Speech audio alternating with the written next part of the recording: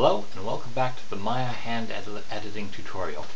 In this episode we're going to continue on from our previous episode where we created a simple waving hand animation and make something a little bit more complicated. I'm also going to show you how to work with uh, more than one clip at once in the Trax editor. Now see right now um, we have uh, the hand waving clip enabled so if we drag back and forth in the timeline the hand is going to receive information from the uh, clip here. But uh, we, if we're going to create a second animation for the hand, first thing we're going to want to do is disable that clip so we have full control over all the uh, animating attributes again. So in order, in uh, this episode we're going to create a uh, grabbing animation. So we're going to do that by uh, just, we're going to start here. We're going to start by selecting all our controls, just like we did before. Uh, so that, uh, and we're going to press the letter S key to create uh, a keyframe for every single one of those controls. And can get that out of the way. Uh, and you can see auto key is on here so that whenever we move the hand, it's going to automatically create keys in our graph editor. Let's bring that up there. So uh, we start off with uh, the hand in neutral position, create our first frame.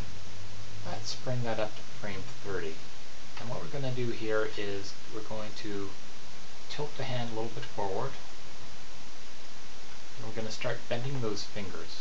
So if you remember when we were using set-driven keys to uh, help us curl the fingers, well, because those attributes are now part of the Trax editor, we can now uh, just curl those and uh, yeah, we can just uh, set those the way we would any other attribute. Bring that down.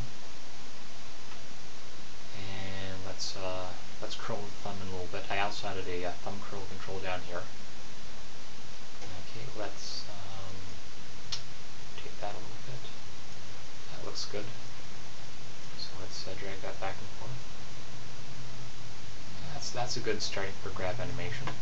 So let's bring that up here to maybe frame 60. So at this point the, the hand is going to lift up from the ground a little bit. And it's going to tilt a little bit forward. And maybe that's going to rotate up a little bit. And okay. Actually, is that is that good or is that not enough? Let's actually move that up a little bit more. And rotate it a little bit more. And pull that up.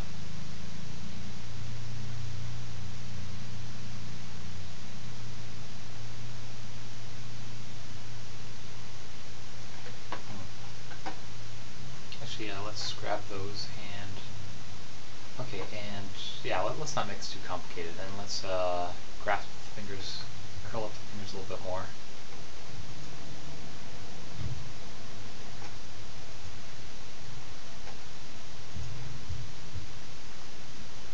Okay, and keep on going, and let's have that come up more completely. Maybe even start turning down like that.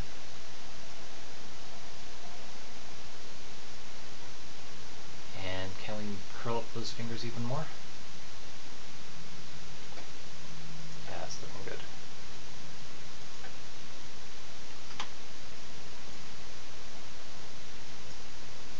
Maybe sort of uh, angle those in.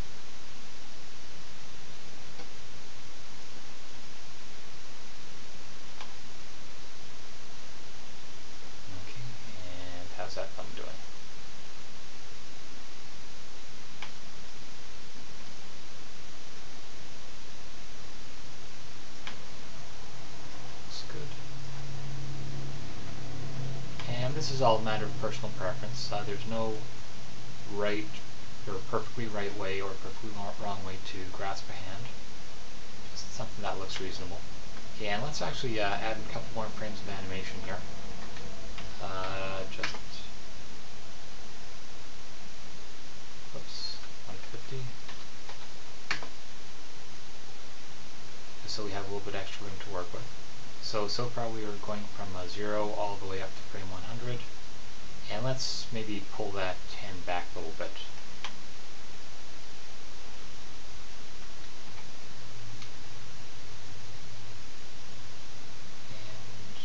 Maybe that down a little bit.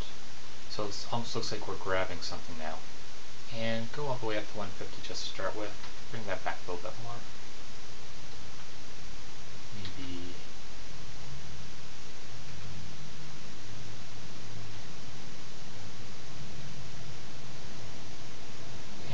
all personal preference. This is this is the art side of what we're doing as opposed to the technical side. Just make something that looks nice. Okay, and let's plus press play here.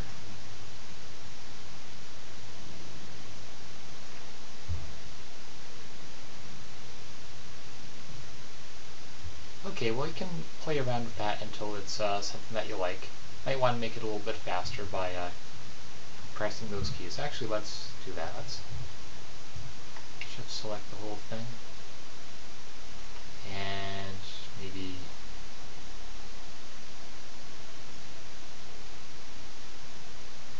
drag that in so the whole thing happens in 120 frames rather than the whole thing.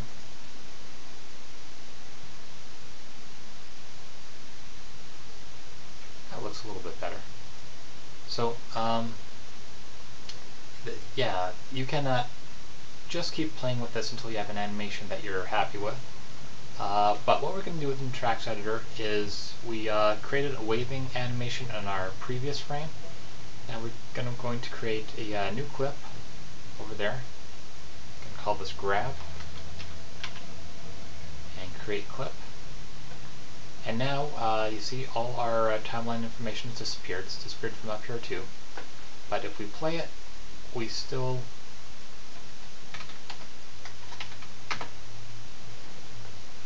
we are still receiving data and we're receiving data from uh, our clip up here on the timeline and we can actually move that around so that that's on frame number one. And if we want to switch back to waving animation, we can disable that clip, enable that clip, and now we're back to waving. And uh, the reason for that pause here is because that ends at frame 100. We uh, make that 100 frames long there, and that's nice and smooth. And if we want to go back to uh, grabbing, enable that clip. Set up to 120.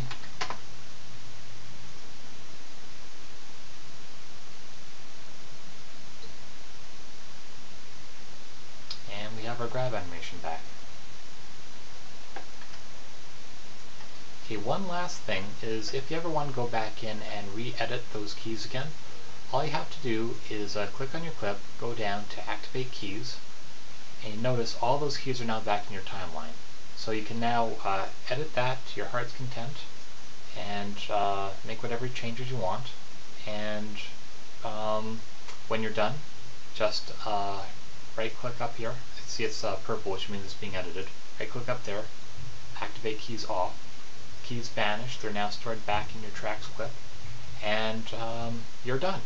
And this is a really easy way, not just to uh, have multiple animations on the same uh, piece of uh, character, but uh, lots of things like video game editors will look for individual clips uh, to be able to uh,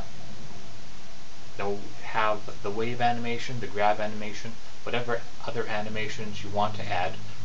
Many video game exporters will look specifically for these clips so that it can keep those different animations separate.